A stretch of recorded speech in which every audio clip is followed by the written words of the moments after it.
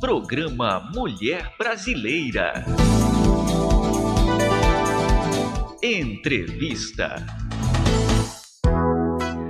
Um problema que aparece na adolescência e que pode levar a doenças sérias como diabetes, hipertensão e câncer.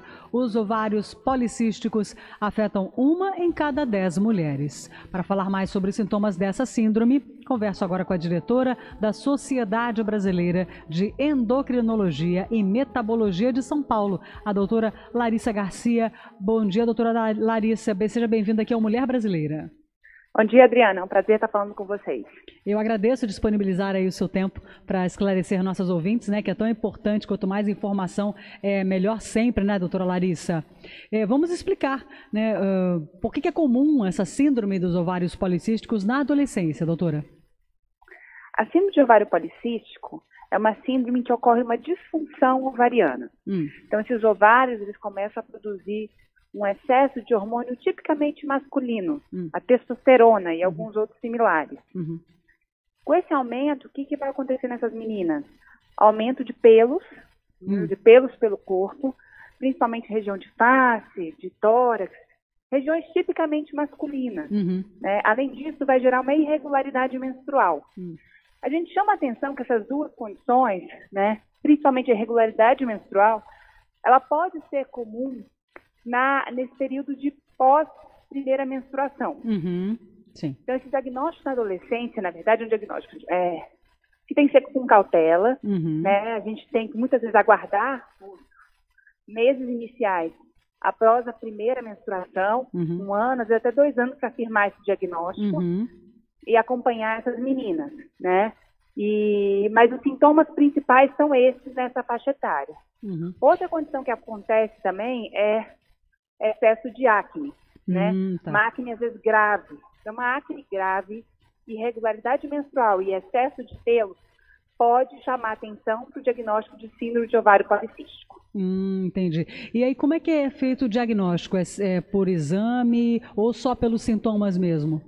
Então, sintomas clínicos, né, são uhum. importantes. Uhum. É, a dosagem hormonal é importante e o que não é importante é o ultrassom. Então, na verdade, é, ah, quando a gente está trabalhando esse, esse, tema na adolescência, é porque muitas meninas, eu falo que a coisa que eu mais faço é falar que a, a pessoa não tem síndrome de ovário policístico. Uhum. A síndrome é uma coisa mais complexa. Não é o achado do ultrassom de ovários policísticos. Inclusive, uma, uma recomendação recente fala para não fazer ultrassom pélvico para esse fim diagnóstico. O achado de ovário policístico na adolescência é comum e não necessariamente significa ter essa síndrome que é uma coisa mais complexa. Ah, entendi. Então tem, tem que ser as, uh, tudo juntos, todo mundo junto, né? Os sintomas, a, dosagem hormonal, é, para poder fechar um diagnóstico, é isso? Perfeito, é isso. É isso que a gente quer chamar atenção. Porque é muito comum uma menina fazer um ultrassom, achar ovário policístico e categorizar como ela tendo a síndrome. Hum. E a síndrome, como você bem mencionou, além desses achados é, hormonais, está muito associada à obesidade, à diabetes e, e se menciona até potencial risco cardiovascular. Então, você ter esse diagnóstico de síndrome de ovário policístico, ele tem que ser fechado com clareza, tem que ter tudo junto, né? Principalmente na adolescência, é importante ter tudo junto. Ter a, a parte clínica, uhum. a irregularidade menstrual, a parte clínica de excesso de pelos, de acne em excesso, a irregularidade, é, a irregularidade menstrual e os hormônios alterados. Uhum. E doutora Larissa, essa síndrome pode aparecer na mulher, na mulher mais velha, né? Ou só na adolescência que é comum? Não, pode aparecer na mulher da, mais velha. Ela pode aparecer em qualquer momento da qualquer vida momento. reprodutiva, uhum. é, qualquer momento da vida reprodutiva da mulher. É muito comum ela aflorar depois ganho de peso. Então a, pessoa ganha peso e aí começa a ficar com ciclos irregulares, aumenta pelo. A gente vê muito isso na história, no histórico da paciente. E a gente não sabe o que, uh, o que causa o quê. Se é a obesidade hum. que, que piora realmente a disfunção hormonal e parece também que a disfunção hormonal latente aí aumenta o risco de obesidade. Então, uhum. Então parece ter as, as duas vias né, de ação. Uhum. E qual a diferença de cisto no ovário e ovário policístico? Então, a, a, o ovário policístico ele tem uma característica ultrassonográfica bem particular. Os cistinhos são pequenos, são menores que um centímetro, e, e, e, geralmente esses ovários são aumentados de volume. Um ou os dois ovários. Mas são cistos pequenos em grande quantidade, geralmente mais uhum. que 5, uhum. 20 desses cistos. Uau. É diferente de ter um cisto único no ovário, ah, né? Uhum. Uhum.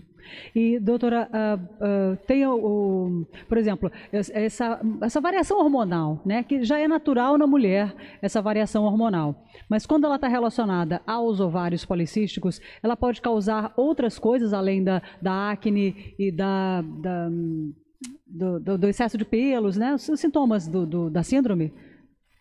Não, basicamente, a, o excesso hormonal, que é característico da síndrome, tá. é um excesso hormonal de hormônios tipicamente masculinos. A uhum. gente produz, toda mulher tem uma concentração pequena de testosterona. Uhum. O, os sintomas vêm quando essas concentrações aumentam muito, né? Aumentam a níveis acima dos valores de referência uhum. e dão esses sintomas. Uhum. A ciclicidade é, da mulher uh, que você comenta, né, que está relacionada ao ciclo menstrual, geralmente na síndrome ela fica até é, diferente, visto que essa mulher geralmente não tem ciclos regulares, elas não ah, acumulam muitas vezes, né?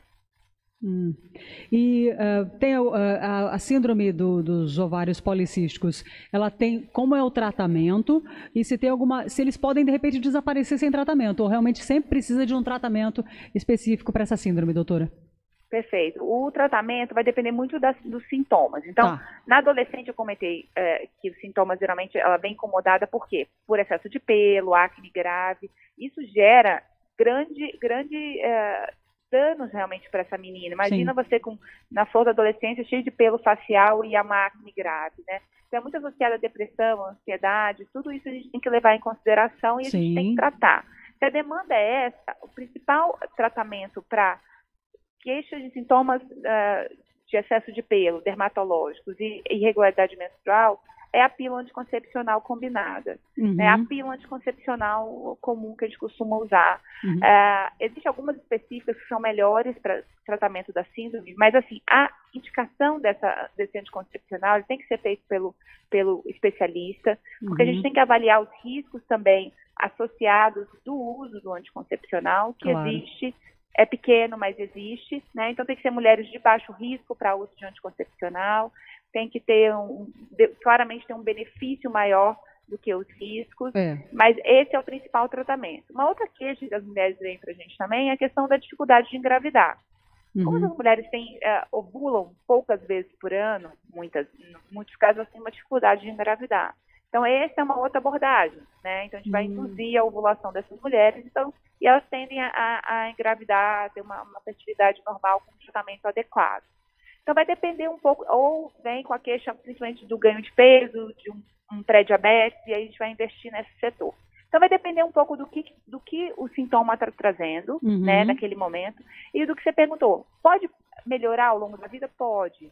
Né? Então, você vê que mulheres, principalmente depois que têm gestações ou perdem muito peso. Perda de peso é incrível, né? As mulheres têm, têm clínica importante, perde 10, 15% do peso, melhoram os sintomas. Ah, e, e, alguma coisa, como se alguma coisa acontecesse. É uma, é uma doença ainda, Adriana, que as causas é, é, justamente o nosso foco de pesquisa aqui hum. na Universidade de São Paulo, uhum. ainda é, a gente não conhece muito bem por que isso ocorre. Apesar de afetar 10 a 13% das mulheres de idade reprodutiva, é muito comum, uhum. parece ter várias causas. Olha e aí, aí a dificuldade Difícil, né? de explicar.